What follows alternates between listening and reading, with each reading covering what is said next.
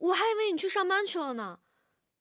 你，这是在干嘛呀？陆太太，这是陆总为您准备的专用车。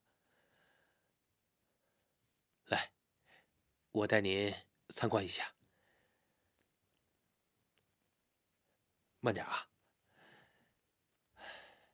这里是会客区，出外景的时候啊，可以临时办公。这里是烹饪区，即使在荒郊野外，也可以做上一顿美食。这里是卫生间。哎，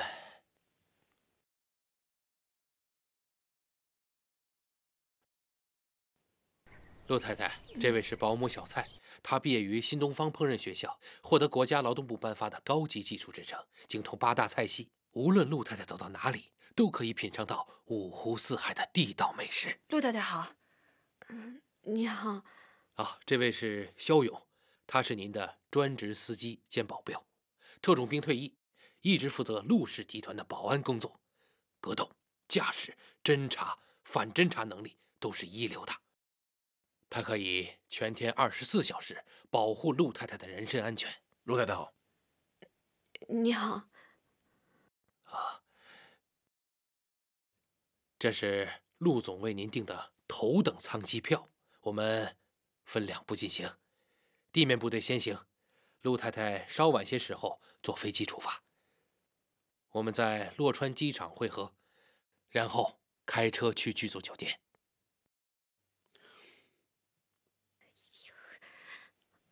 博言，这是在干嘛呀？这黛玉都赶上主演了。这些只是非常基础的配置。你这么兴师动众的，我怎么在剧组工作呀？说好了要低调的嘛。那房车总得有吧？剧组有班车。那厨师你带着吧。剧组有盒饭。你一个人在外地，这保镖总得有吧？有骆小西呢。好，等从剧组回来，我会好好补偿你的。行，那到时候补偿什么，我说了算。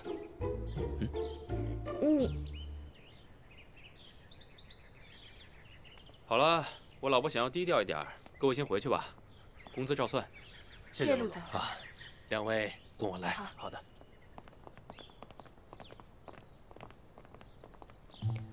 陆岩，那我们说好了，以后我在剧组，你不能随便来找我，也不能查剧组的信息，更不能给剧组投资，不然我又会成为那个被特殊照顾的对象。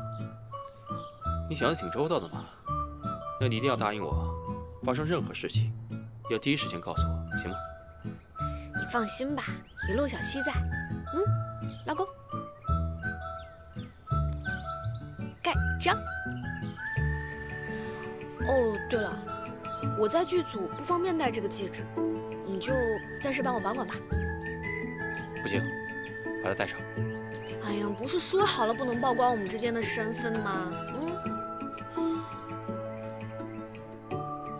那好吧，那我送你去车站，好吗？嗯。走吧。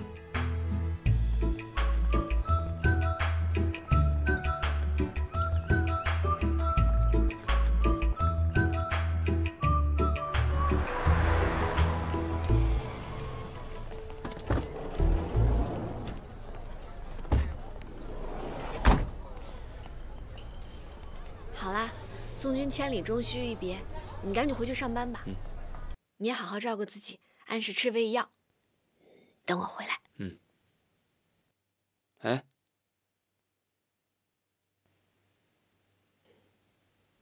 走啦。嗯。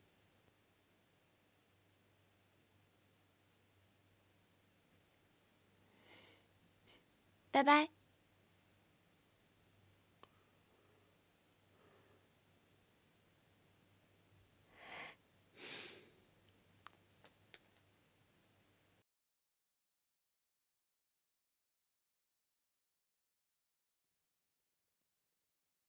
这么好！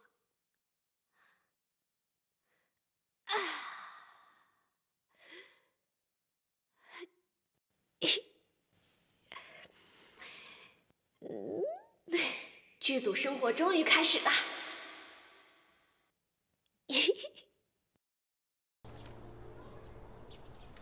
嗯，姐啊，嗯，这版剧本你修改的不错嘛。我很满意啊。谢谢郭导。行，我带你去见一下其他主创。走吧，拿好我杯子。哦。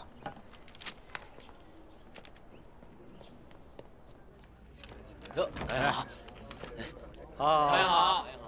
那我给大家介绍一下啊，这是咱们新来的编剧苏简安。哎，简安，这是咱们另外两个编剧晶晶和小敏。来来来，认识一下。大家好，我是苏简安，以后请多多指教。你好，你好。带你去见一下女一号，来。哎，大家好，哎，大家好，大家好。来，简安，这是咱们的女一号韩若曦。韩若曦，这是咱们编剧苏简安。来，你们俩沟通一下啊，需要有什么剧本修改的地方呢？然后呢，你也配合一下啊。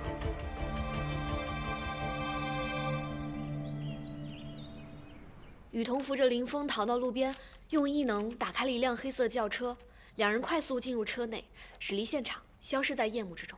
郭导，你觉得这段这么修改怎么样？可以吧？行，那我继续。嗯。郭导，剧本围读怎么能不叫我呢？啊，若曦啊，你能来当然最好了。来坐坐坐，来坐。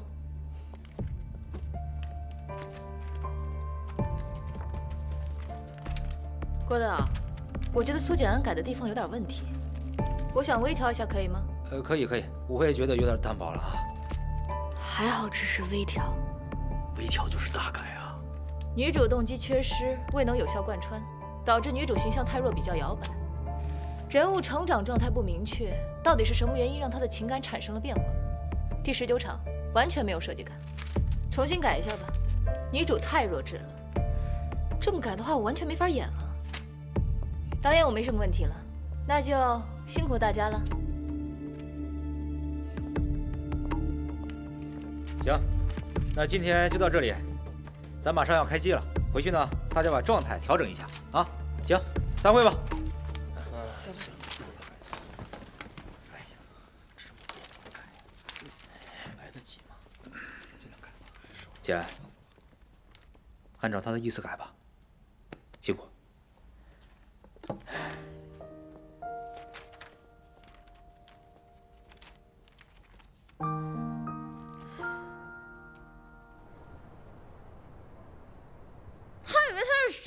会场这么嚣张？哎呀，人家可是女主角，而且我觉得她说的有些问题也是对的呀。什么？你穿成那样子，明显就是在针对你。吴本章，受不了了，我现在就要去找导演。哎哎，你干嘛去啊？你去了没有用啊！告诉导演你是陆总的老婆，看他们还敢这么狗眼看人低。那我就不用隐瞒我自己的身份了。我都气死了，你就这样一直憋着火。我都受不了，反正你能受得了，我受不了。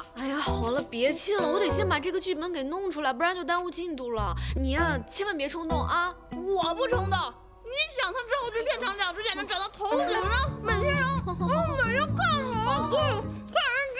啊，好，看人机。嗯，别说了。他是我说小区这辈子最讨厌。好好好好好。哎呀。